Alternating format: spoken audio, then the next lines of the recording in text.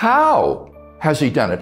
How does Jesus' death on a Roman cross serves to reconcile the world to God? Well, that's the question of atonement in the other sense.